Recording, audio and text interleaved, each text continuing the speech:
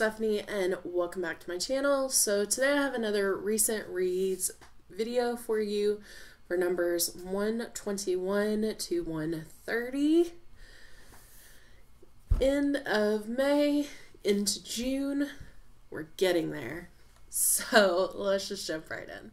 The first book I read was Buried in a Good Book. This is the first book in the By the Book mystery series by Tamara Berry.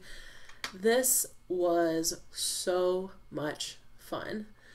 So we follow best-selling thriller writer Tess Harrow and she brings her teenage daughter with her to her grandfather's rustic cabin in the woods and she's hoping that it's a time for them to bond and heal after Tessa's recent divorce.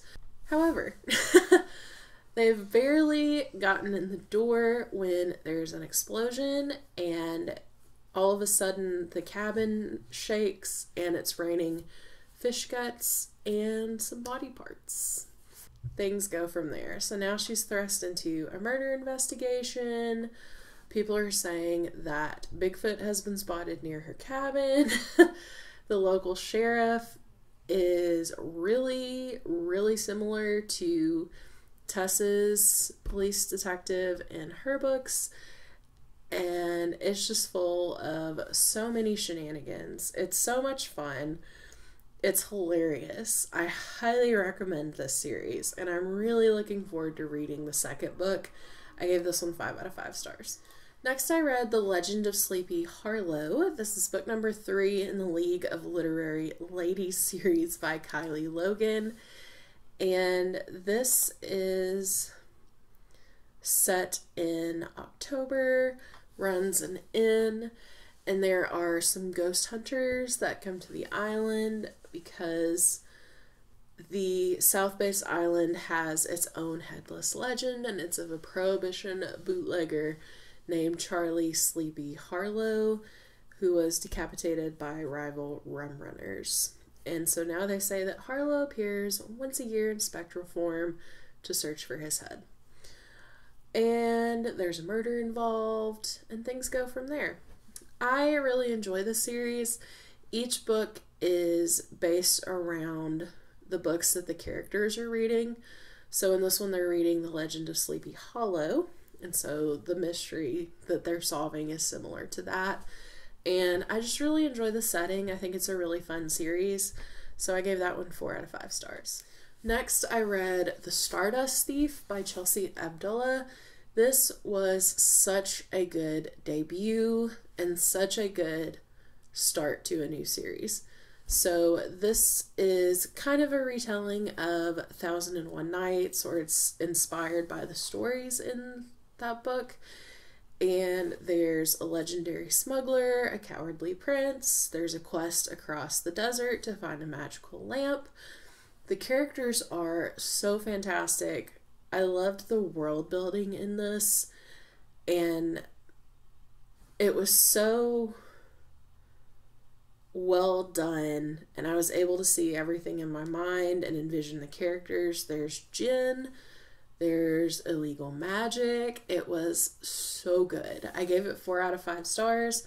I'm really excited for the next one um, because the ending was kind of a cliffhanger and I need answers like yesterday. Next, I read Knit or Dye Trying, which is book two in the Riverbank Knitting Mystery Series by Allie Pleiter. And once again, we're following Libby Beckett, and she owns a yarn shop there is a yarn event that is an alternative option to a foodie weekend that is going on. First, like a flock of sheep parade down the street that are protesting this artisan fiber dyers anti wool viewpoints. And then the Dyer's sister shows up and there's a rivalry and it's kind of wacky and then a murder happens. It was kind of weird, but kooky and I gave it 3 out of 5 stars, not my favorite, but it was an entertaining read. Next, I read Bayou Book Thief, which is book one in the Vintage Cookbook Mystery Series by Ellen Byron. This was set in Nolens, Louisiana, and we follow 28 year old widow Ricky James, and she has left Los Angeles to start a new life in New Orleans after her husband dies doing a stupid internet stunt. She was originally born and adopted in New Orleans, so she's kind of coming home. She joins the staff of Bon Vee Culinary House Museum, and it's a former Garden District home of a city's legendary restaurateur. Ricky enjoys collecting vintage cookbooks, so she's really excited to bring that to this museum and really turn her passion into a business. Then she discovers that a box of donated vintage cookbooks contains the body of a cantankerous Bon Vee employee who was fired after being exposed as a book thief, and things go from there. I thought this was so well done. It was such a fun start. And I love that Ellen Byron really captured the eclectic setting and the personalities of the city New Orleans and the food. The mystery had really good plot twists. There were some really good red herrings. And I really liked the side stories that were woven into the story. And the ending had a really good twist, and I really need book two because I need to know what happens. So I highly recommend that one. It's fantastic. Next, I read Petals and Poison, which is book two in the Flower House mystery series by Jess Dylan. We follow Sierra Ravenswood, and she owns a flower shop, gets involved with a murder. Things go from there. Once again, not my favorite series, but it was a fun time. I gave it three out of five stars, and I continued on with the series. Next, I read Booked 4 Murder by J.C. Eaton. This is book one in the Sophie Kimball mystery series. So we follow Sophie Kimball, and she is a divorced middle aged mom, and she's an account clerk for a police department in Minnesota. And her retired mother, Harriet, is convinced that her daughter is the only one who can solve the mystery of a curse book. And according to her mother, four members of her mother's book club have died because of the curse. And so she insists that her daughter comes to her retirement community in Arizona to investigate. Her mother also has a long haired Chiweenie named Streetman, who is hilarious. And she also has her book club group of friends. I have not laughed out loud at a book like this in so long. It was so freaking funny.